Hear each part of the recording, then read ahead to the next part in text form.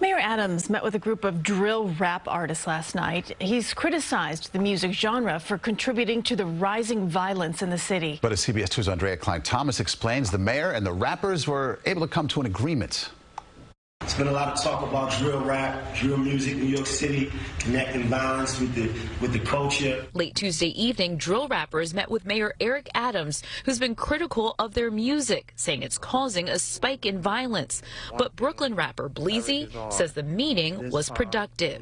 And we got a chance to speak to him as brothers, as we should, and we got a perfect understanding of what's going on. Drill rap came under renewed scrutiny after 18-year-old artist Jayquan McKenley's murder earlier this month, leading Mayor Adams to call for the music's removal from social media.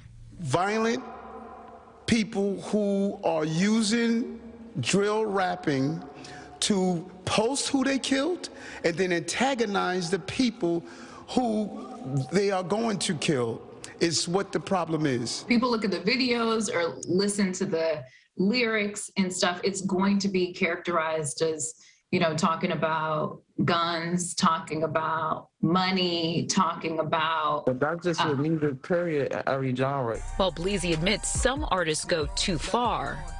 If you ain't experienced poverty, you shouldn't even have your opinion on anybody moment. Bleezy says he focuses on the hardships in Brownsville, adding addressing the real root of violence goes well beyond any lyrics. The community is like, it's, it's, it's, it's like, there's no hope, there's no opportunities. No, we just making music so we could get out of these places. The meeting with Mayor Adams ended with a handshake. The mayor said that a new initiative in partnership with the rappers will be rolled out in a few days. Aundrea Cline-Thomas, CBS 2 News.